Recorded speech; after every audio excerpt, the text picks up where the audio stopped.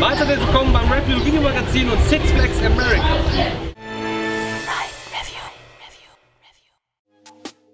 Willkommen zu einem neuen Parkcheck, der uns fast in das Zentrum der Weltmacht bringt. Six Flags America. Der zehnte Six Flags Park der Kette befindet sich in den USA in Maryland, dort in der Nähe von Upper Marlboro in Woodmore. Und das alles ist circa eine halbe Stunde mit dem Auto von Washington DC entfernt. Ja, genau das mit dem Weißen Haus und so. Aus diesem Grund ist dies hier auch Six Flags America. Die Geschichte des Parks ist zwar nicht so alt wie die von Washington, aber dennoch nicht weniger belebt. Kurz zusammengefasst eröffnete das Gelände 1974 als Largo Wildlife Preserve welches von Ross Perot vom TV-Sender ABC als Drive-Thru-Safari bis 1978 betrieben wurde. Von 78 bis 81 war es dann Wild Country, von 82 bis 93 Wild World und von 94 bis 98 Adventure World. Dann übernahm die Gruppe Premier Parks das Gelände und daraus entstand dann ein weiterer Six Flags Park. Neben dem Amusement gibt es in Six Flags America auch einen inkludierten Wasserpark mit diversen Rutschen und Becken. Leider konnten wir Hurricane Harbor wegen maximaler Überfüllung nicht besuchen. Mehr dazu im Vlog.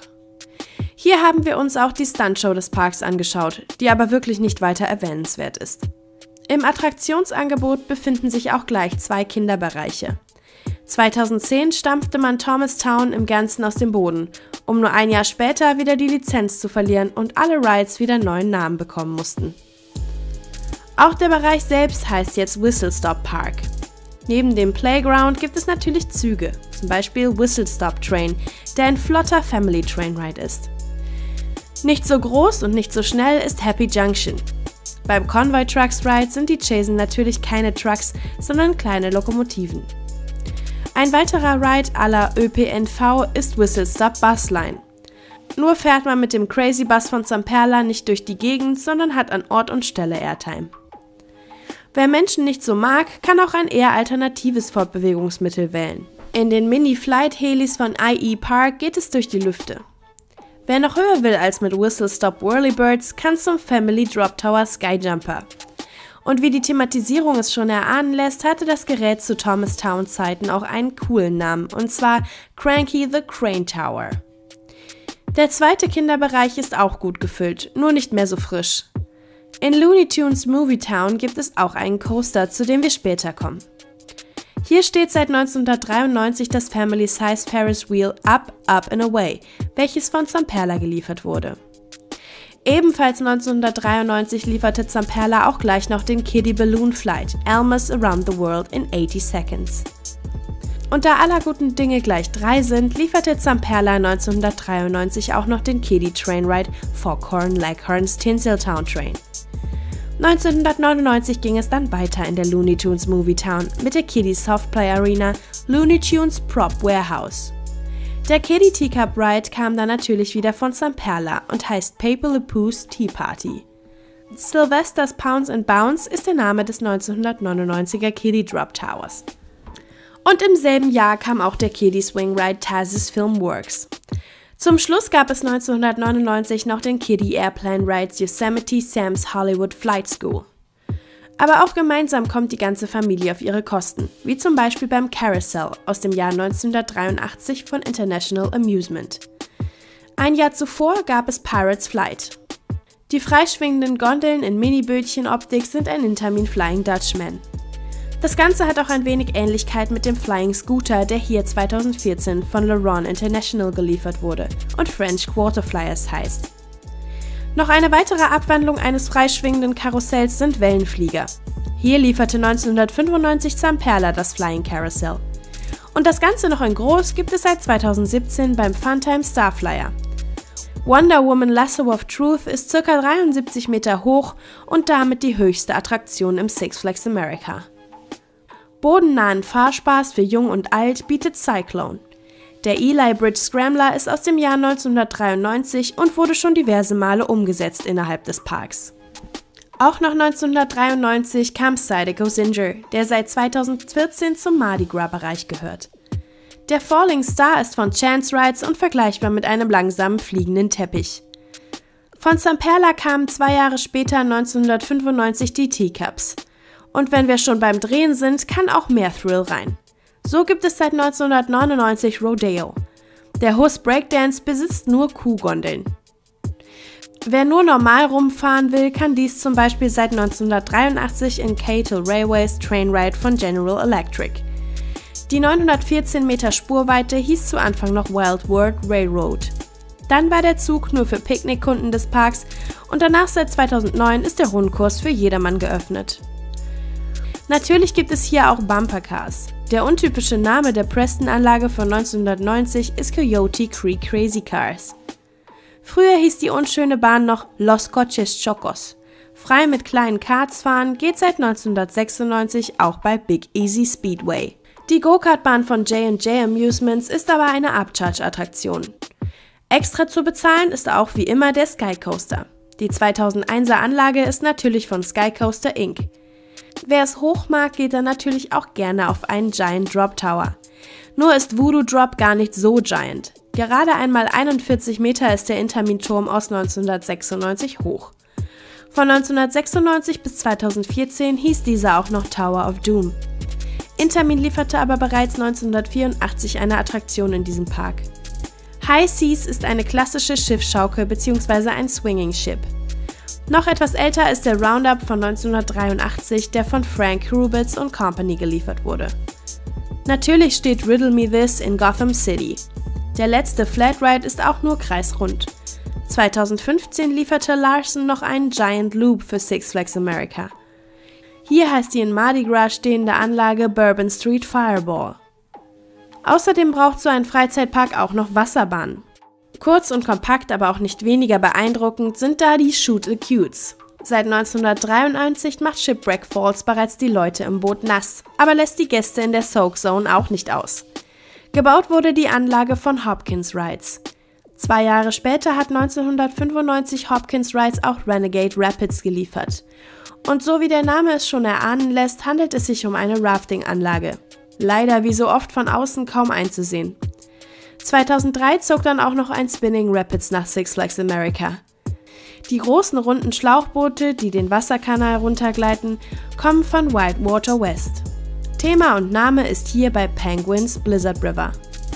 Natürlich gibt es in Six Flags America auch reichlich Achterbahnen. Und wie in jedem Six Flags Park darf der Standard Zamperla STD 80 nicht fehlen. Die 80 Meter lange und 4 Meter hohe Achterbahn heißt Great Chase und steht hier seit 1999. Eine weitere Standardachterbahn von Zamperla steht hier mit Raging Cajun. Mit 13 Metern Höhe und 420 Metern Länge ist die Drehmaus aber auch eine Ecke größer. Eröffnet hat der Twisted Coaster 2014, stand aber vorher von 2004 bis 2013 im Six Flags Great America. Und wenn wir schon bei Standardcoastern von der Stange sind, darf in einem Six Flags Park was nicht fehlen? Richtig, ein Vekoma SLC. Mind Eraser steht hier seit 1995, wurde 2005 von Türkisrot auf Gelb-Orange umgestrichen. 2017 gab es den tollkühnen Versuch, diese Bahn mit VR-Brillen zu betreiben. Scheinbar kein durchschlagender Erfolg. 2001 gab es eine weitere Achterbahn aus dem Hause Vekoma. Batwing ist ein Flying Dutchman mit 1018 Metern Strecke. Die gut 35 Meter Höhe bringen die drei Züge auf bis zu 80,5 km/h. Leider wurde bei unserem Besuch die Doppelladestation nicht genutzt. Sonst wären bis zu 1430 Personen pro Stunde möglich. Die Batman-Achterbahn hat fünf Inversionen sowie mehrere Light-to-Fly bzw. Fly-to-Lie-Elemente. Die Fahrt auf dem Flying Coaster ist jetzt keine Katastrophe wie ein SLC, aber auch nicht unbedingt das Gelbe vom Ei. Batwing steht am letzten Zipfel des Parks. Davor baut sich aber sehr imposant ein Intermin Megacoaster auf. Superman Ride of Steel ist 60 Meter hoch und droppt 62,5 Meter in die Tiefe. Auch hier hat man 2016 die 117,5 km/h schnelle Achterbahn mit VR-Brillen ausgestattet. Zum Glück war auch hier nach einer Saison wieder Schluss mit dem Unsinn. Richtig unsinnig ist aber das 1630 Meter lange Layout. Es ist die gespiegelte Version der Bahn aus Darien Lake, nur ist halt beim Original das Layout dem Gelände angepasst. Superman steht auf einer freien Wiese. Und so eine gigantische, lange und langweilige Helix ist nicht das Schlimmste. Es geht lange, sehr lange, schnurgeradeaus, ohne Hügel oder sonstiges. Sieht man aber leider alles vom Park aus nicht. Eine weitere Comicfigur mit Achterbahn im Park ist der Joker. 1999 kam Jokers Jinx nach Six Flags. Der Lim Launch Coaster wurde von Premier Rides gebaut und ist wie Flight of 4 bei Cedar Fair, nur ohne Halle drum. Wäre bei der rostigen Schiene aber vielleicht besser. Mit knapp 97 km/h wird einer der zwei Züge aus der Station in das 24 Meter hohe Schienenknäuel geschossen. Auf 824 Metern folgen dann neben normaler Achterbahnstrecke auch Cobra Roll, Sidewinder und Corkscrew als Inversionen. 2002 wurden die Schulterbügel durch Lapbars ersetzt. An sich ist Jokers Jinx aber eine ganz nette Bahn.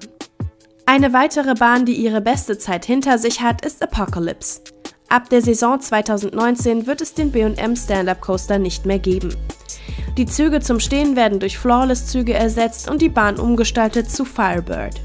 Das war es dann mit dem Last Stand.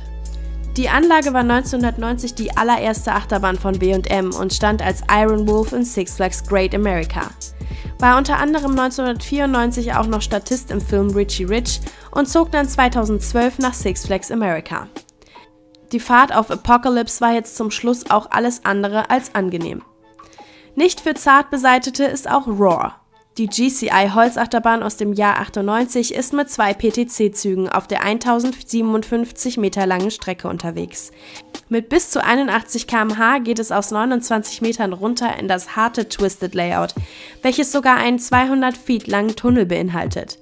So rough die Bahn auch ist, macht das wirklich lange Layout echt Spaß.